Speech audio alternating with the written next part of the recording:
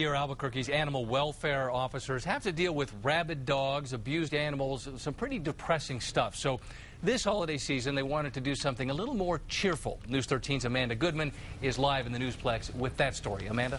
Well, Dean, instead of an office potluck or Secret Santa, the two dozen animal welfare officers decided to sponsor a family in need. They collected money, bought toys, clothes, and even had a few items donated, like this crib and stroller. This afternoon, they presented the massive pile of gifts to an overwhelmed 21-year-old mother of two.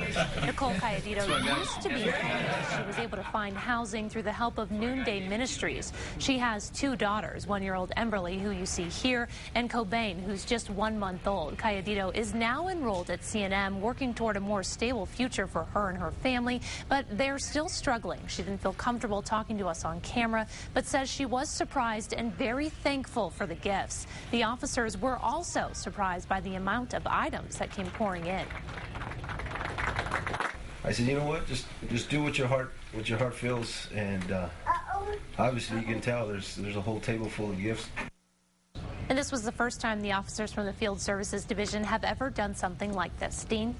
Very nice thought, Amanda. Thank you very much. Animal Welfare chose Noonday Ministries to find a family because one of their officers works closely with the shelter.